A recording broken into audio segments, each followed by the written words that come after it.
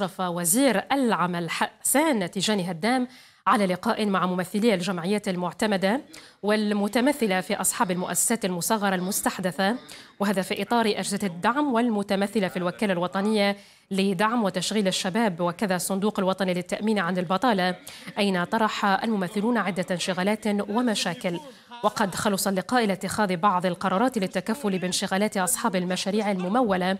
أهمها التجميد المؤقت للمتابعات القضائية وكذا مصادرة العدد التفاصيل في ميكروفون إيمان عياش.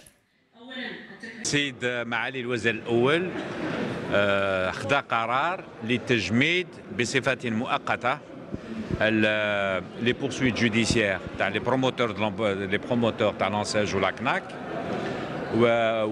و la saisie تاع ال matériel تاعهم. ولكن هذا استثناء الناس اللي باعوا الماتيريال تاعهم. وهذا التجميد مؤقت حتى ندرسوا حالة بحالة ونشوفوا لافنير إن شاء الله.